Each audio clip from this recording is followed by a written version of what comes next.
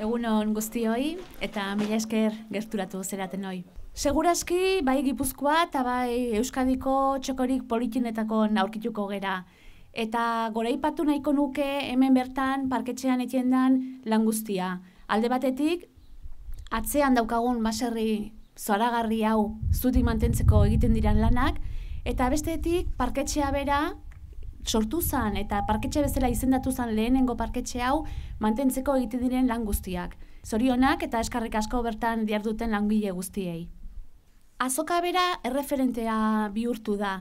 Bai Europa eta Espainia mailan erreferentzia da eta bakarrenetakoa da horrelako e, horrelako espezie lore landara bereziak lantzen dituena. Eta horrekatik are eta garrantzitsuagoa dela iruditzen zaigu larun batean eta igandean egingo den e, azoka honetan, landare, lore, espezia, pilo bat izango ditugu kontinentate, kontinente, bost kontinentetako espeziak, eta e, hemengoaz gain, bai e, Espaini, Frantzi eta Italiako e, saltzaileak izango ditugu e, bertan.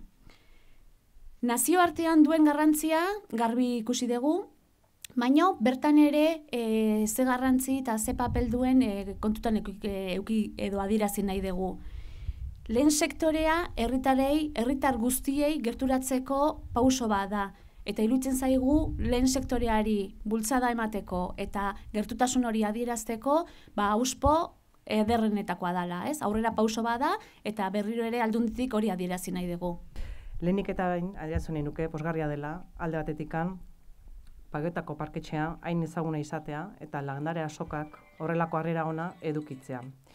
Inungo dudari gabe, lana ondo eginaren emaitza da en, parketxe honen egoera, zuka sasaldu duzun bezala, hain egoera ederrean egotea.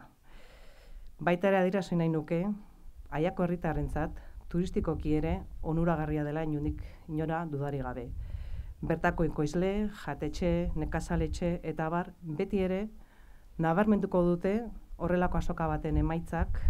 Inundik inoa ona direla, positiboak direla, herritar, oi barkatu, ez dago hemen, herritar guztientza positiboa dela dudari gabe.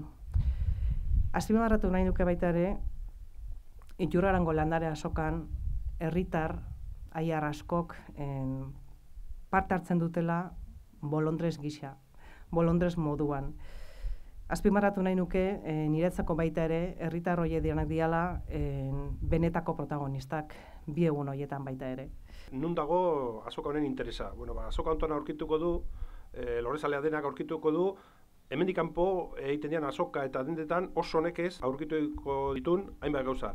E, honea ez da etortzen, nola zirkuito arruntetan ibiltzen dan jendea edo landarea, baizik eta honea datoz azteko eta behin e, ekoizle primarioak, osea, zuzenian ekoizten du jendeak, ez dira komerziala izatzaileak, hemen tortean landareak, saltzaile berak, bere etxean, ekoiztuko ditu, eta gero gaina, da jende espezializatua, ez dituzte denetarik, ez dute denetarik egiten, baizik eta normalean, espezializatzen dira e, landare mota jakin batean, edo genero bat, edo, edo talde bat, eh? ba, palmera diela, zitrikoa diela, e, bulboak diela, e, epifitoa diela, alegia adarretan, lurri gabe azten dienak, e, kaktusak eta krasak diela, edo ezegunetan hartetzen dienak, propio ezegunetako ba, bakarrik, bueno, e, motasko, baina bakoitza dago nola baita ezatarren espezializaldua e, oitako mota batean e, bi parkin jongo dira beti bezala bataian, eta bestia hori barzarko portu berrian, eta handikan honea e, autobusak etengabe joan da etorri ingo dira.